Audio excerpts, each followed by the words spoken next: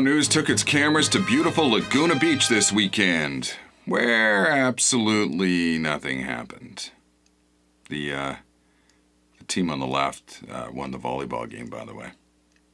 Oh, and I got dragged into a Christmas store where they had lots of ornaments and uh, trinkets, and uh, yeah. They did have a cool National Geographic gallery, though, and I learned a lot there. Oh, fuck, I feel like I'm gonna sneeze. No, no, I'm okay. Why do I have to sneeze in the middle of HOCO? I learned a lot at the National Geographic Gallery. I learned that the photographers lived amongst the elephants in Africa. I learned that woodpeckers drill like holes in the tree, and then the owl sleeps in the tree, and he's camouflaged and really smart, just like he was in the bedtime stories. And I also learned that a uh, photograph that's framed, the large one, will run you about $17,000. I had another one that I liked as well. I put that one on my Instagram account. I'll just link that below if you want to check that out, that posting. So I keep telling my kids, get off your phones, get out and live your life like we used to do. Go out and play and do things sometimes. And then I saw this video.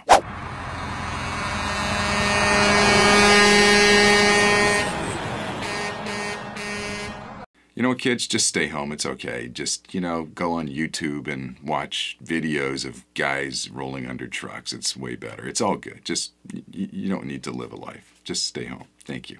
Now, bees have invaded our neighborhood. Roll the B roll. Thank you. Jeez, look at that.